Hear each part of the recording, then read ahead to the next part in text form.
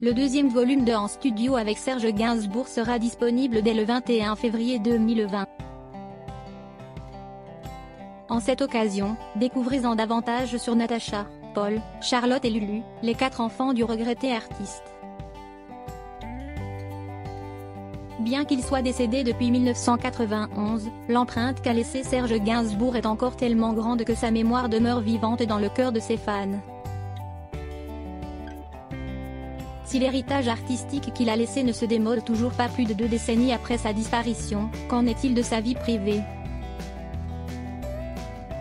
L'ouvrage Monkey Diaries de Jane Birkin revient sur ce sujet. Les fans de l'interprète de Pauvre Lolita vont être ravis de la sortie du deuxième volume de En Studio avec Serge Gainsbourg. Ce nouveau volume mettra au grand jour 13 titres inédits de l'illustre chanteur qui n'était encore jamais paru en vinyle.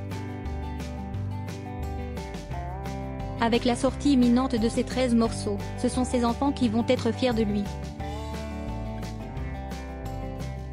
Rares sont les individus qui peuvent encore s'enorgueillir de l'œuvre d'un de leurs parents, plusieurs années après sa mort. Beaucoup de fans l'ignorent encore mais l'interprète de Laisse tomber les filles a eu quatre enfants. De son union avec Françoise Antoinette Pancrazy sont nés deux de ses enfants, Natacha née en 1964 et Paul plus connu sous le nom de Vania né en 1967.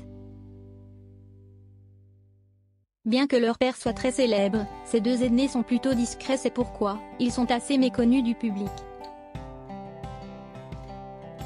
Avec l'actrice Jane Birkin, il a eu une fille prénommée Charlotte en 1971. Cette dernière est plus connue du public puisqu'à l'image de ses parents, elle est devenue une artiste officiant à la fois dans l'acting et dans la chanson. En 1986, Serge Gainsbourg a eu un autre enfant prénommé Lucien Di Lulu avec la mannequin et chanteuse française, Bambou. Ce dernier a suivi les traces de ses parents en devenant à son tour musicien à l'âge adulte.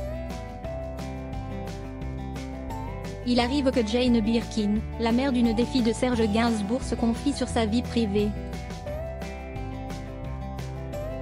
Déjà, dans le premier journal intime baptisé Monkey Diaries, elle avait évoqué sa vie avec le regretté chanteur. Dans le deuxième journal intime intitulé Post-Scriptum, elle parle d'un autre décès qui l'a profondément marqué.